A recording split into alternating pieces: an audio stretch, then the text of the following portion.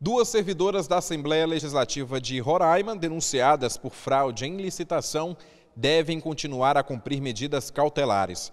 A decisão é da presidente do STJ, ministra Laurita Vaz. As duas mulheres foram presas preventivamente após investigações da Operação Cartas Marcadas, que desarticulou um esquema de desvio de recursos públicos e lavagem de dinheiro na Assembleia Legislativa de Roraima o juízo de primeiro grau substituiu a prisão preventiva por oito medidas cautelares, entre elas o recolhimento durante os dias da semana após as 8 horas da noite e integral nos fins de semana e feriados, além do impedimento de circular na Assembleia Legislativa. Devido às restrições, os advogados pediram no STJ a suspensão dos efeitos da medida cautelar.